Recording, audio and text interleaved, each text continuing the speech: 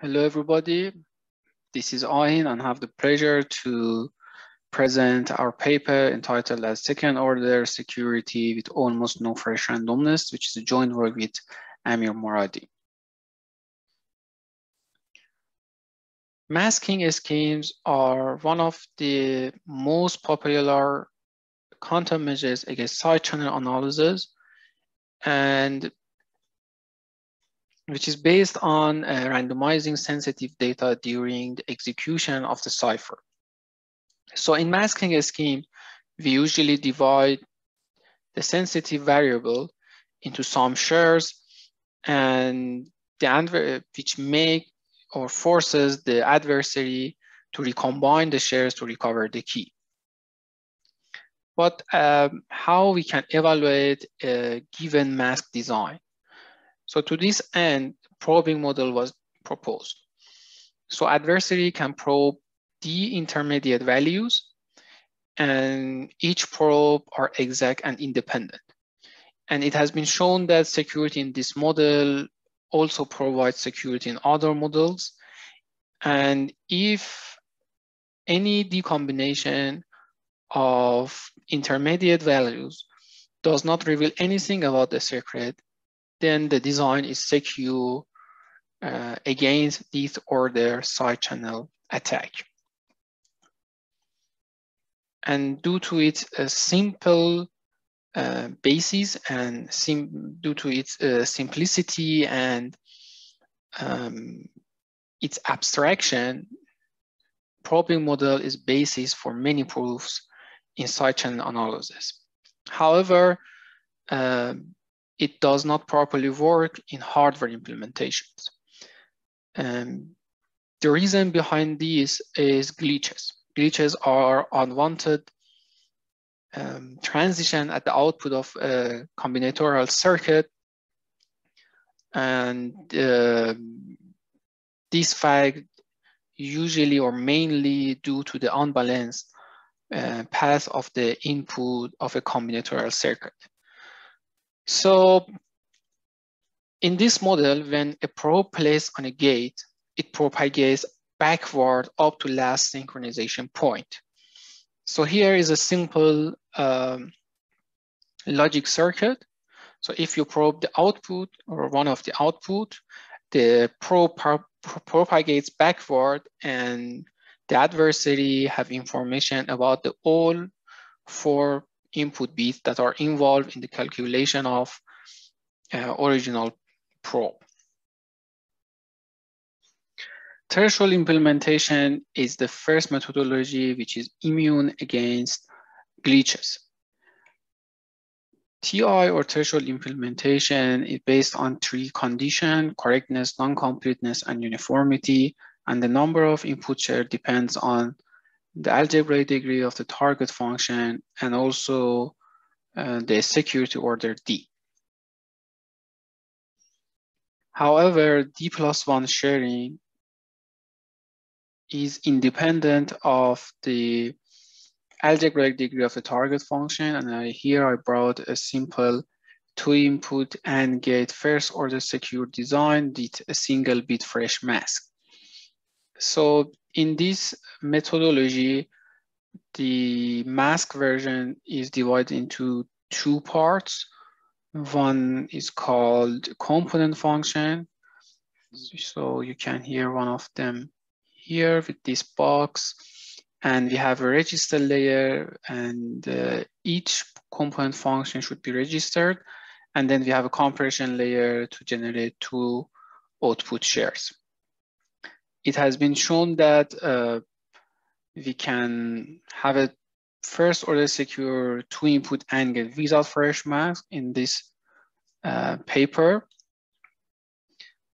And the question is, can we extend it to the second order or not? So here I recommend to watch my presentation um, about the paper reconciling first order masking scheme, because this is the extension of that algorithm and probably it might be helpful to watch it before uh, watch this video. So let's start with a very simple two input AND gate. And we would like to have a second order realization of two input AND gate with three shares. So it forces us to use nine component function, as you can see here, to have a second order non-completeness. So the construction will be something like this. We have nine component function, a register layer here, and the compression layer here.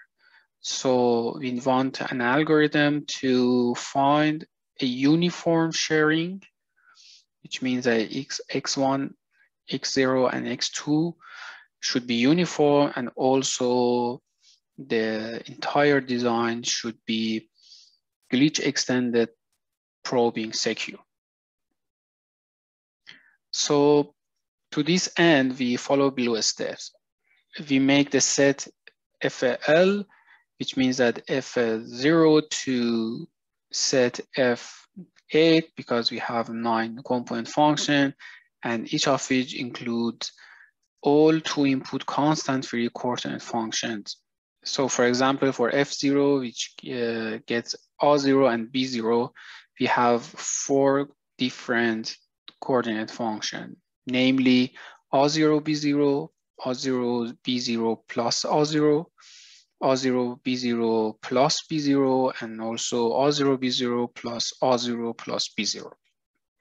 So the coordinates of each set is one.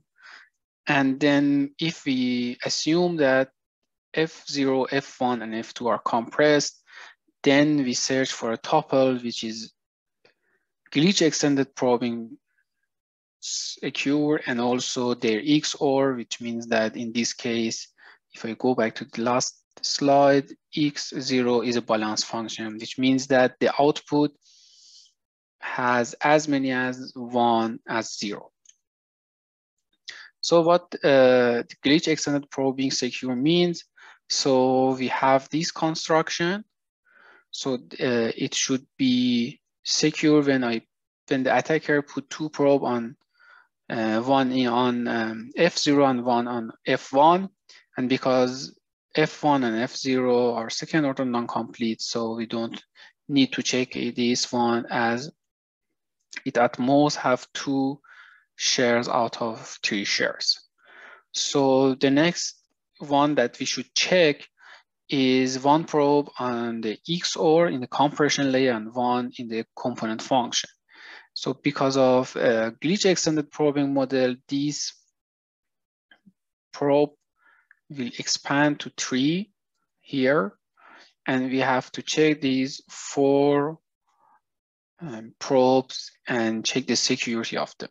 And then we have to check the next one and also the probe on the F2, which is a component function.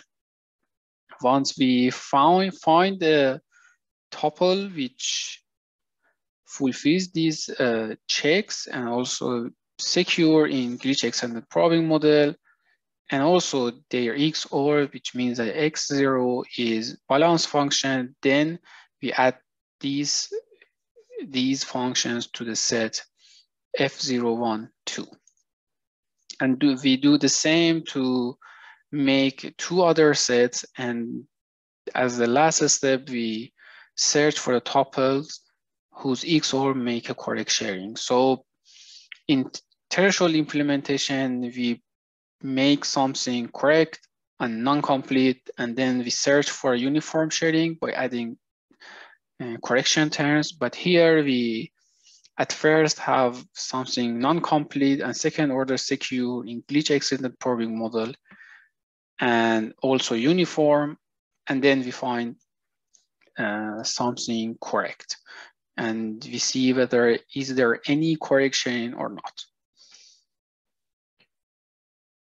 But it's not the end. We have to check some more um, probes.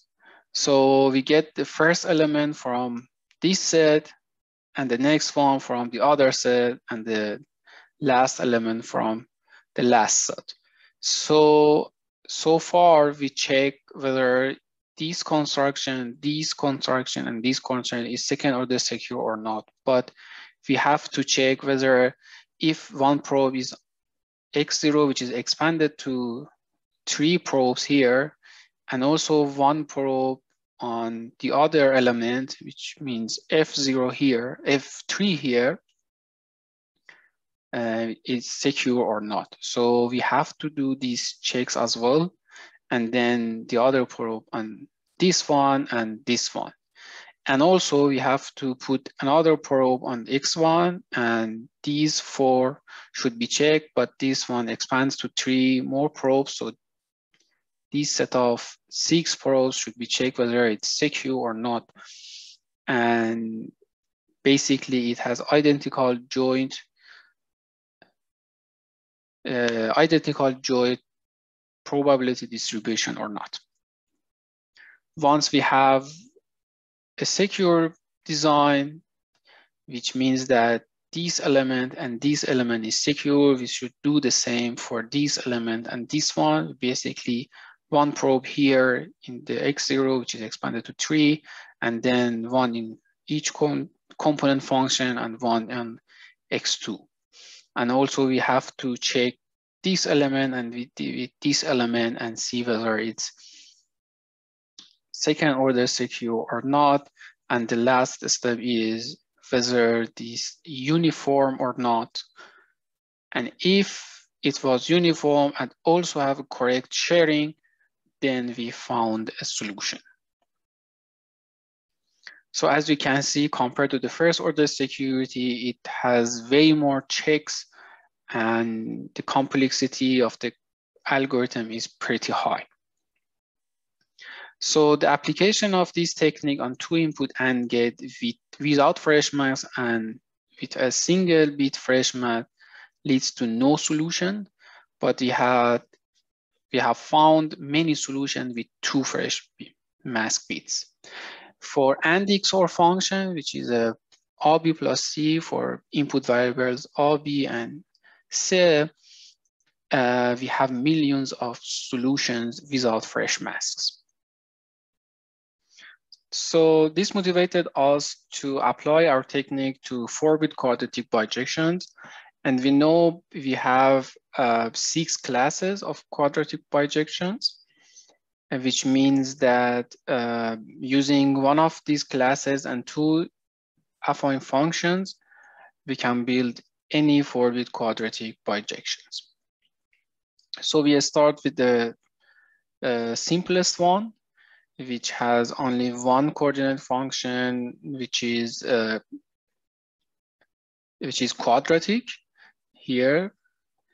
And we already studied an AND XOR, which is basically this coordinate function, but um, all solutions are not necessarily a joint, uh, a jointly uniform solution. So we searched for a um, uniform sharing and we found more than 500 solution, which is the second order secure and also fulfill the uh, joint uniformity. And of course, without any fresh masks. So we further studied the next one. This one is a more, a bit more uh, complicated. It has two coordinate function. Uh, with algebraic degree of two. And of course, it requires more checks on because the attacker can uh, put one probe on this coordinate function and one in this coordinate function. Um, and basically one on the compression layer of the first and one on the component function of the second one. And the other uh, possibility is to put one probe on the compression layer of this coordinate function and one and on the compression layer of this function. We also found many solutions without fresh masks. And we also applied our technique to uh, other quadratic bijections and we found some solutions However, we found no solution for uh, Q300 and it's not possible to realize a three share second order uh, mask variant of this one because basically um, this the coordinate function has uh, all three um, quadratic monomials of three inputs. But this uh, class can be decomposed into two quadratic bijection and we can make those uh, decomposed functions a second order secure. But at the composition, we need some fresh masks. So here we have F and G, which is quadratic. So we should add some fresh mask in the compression layer and store the result in the register to make sure that uh, the design, the whole design is still second order secure. So F is second order secure, G is second order secure, but composing them not necessarily is second order secure. So because of that, in the compression layer, we add some fresh mask, store the result in the register uh, before giving it to the next function. And if the output of the G also goes to the another function, nonlinear function, then we should add some more fresh mask here. So as a case study, we applied our algorithm to Keccak and um, Keccak has a five bit S box with quadratic coordinate functions. And we have designed a two share, which means a first order, and three share, which is a second order round based implementation of Keccak without any fresh mask. I would like to highlight that this is the first time the second order secure Keccak without any fresh mask is presented. So here is the, the synthesis result. So as you can see, we have we use no fresh mask. The area overhead is roughly the same, but we have a bit more delay or basically the critical path. So the next case study is Skinny. The four-bit SBox of Skinny can be decomposed into two quadratic function, as you can see here, and three affine functions. And all affine functions are bit permutations and negation of the input and output. So this means that we can construct a skinny um, encryption function with only 8-bit fresh mask, as you can see here. And, and as I said before, we have to add fresh mask at the interconnection of the two quadratic function to ensure the security. And because affine functions are just bit permutation, we don't need to place any register here. So basically we have one state register before the S box and two register layers before the compression and also one register after compression of the first quadratic bijection. So the next case study is Midori. It's pretty similar to the skinny. We can decompose it into two quadratic function. However, uh, affine function are not just bit permutation like Midori, so we can decompose it into quadratic function and basically integrate the A3 into the uh, this quadratic function and also A2 to the, the other one and make the G and F. So basically we have two new quadratic bijections and we can apply our algorithm on it. And uh, we found more solution and actually we need more checks because of A1 because the attacker can uh, put a probe on A1 on the XOR and put one um, probe on the compression layer of, of F or compression layer of G. So we have found several solutions for F and G. And as I said before, we need 8-bit fresh mask to uh, connect or basically compose the G and F and the result of the A1 should be stored in register. Here's, here is the general structure of the Midori. As, as I said, the output of A1 should be stored in the register. At the interconnection, we need some fresh masks. And before connection, we always need register to ensure uh, glitch extended probing security. So the next case studies are present and Prince. And present SBox also can be decomposed into two quadratic bijection like Midori and Skinny. And I'm not going to repeat uh, the procedure for the present SBox. And for a Prince, we um, in the encryption function of Prince, both SBox and its inverse are used.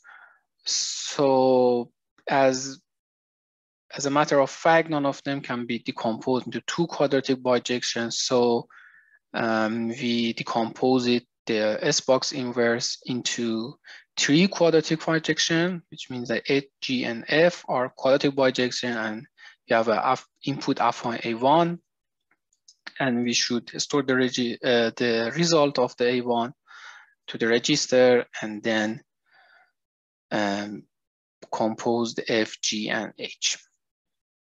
And as before, at the interconnection of F and G and G and H, we need fresh mask to ensure the security. To uh, implement the SBox, we used uh, the affine equivalence property of the SBox and SBox inverse of Prince, which means that which means that with affine function A, we can implement S in the round function. So basically we implement a secure version of S1 and we place A at the input and the output of the S inverse to implement the S. So here is the um, result.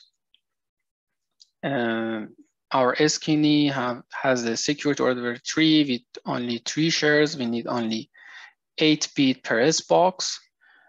And the same hold for the Midori and present, but Prince um, is decomposed to three quadratic functions. And as you can see, the number of freshmen is reduced and the area overhead is roughly the same as the state of the art and is way better than uh, some proposed uh, designs. And actually the throughput of our design is the most in the Prince. We have a, work on present, which this is only an SBox implementation, which needs more than 500 bit and more uh, around 150 clock cycle to perform only one present SBox, which is second order secure, which is uh, the cost of our implementation uh, is extremely lower um, compared to the state of the art. So we evaluate all our uh, SBox construction with Silver, which is a verification tool and does not simplify anything and has not any false positive or uh, false negative. And we check our construction under the glitch extended probing model.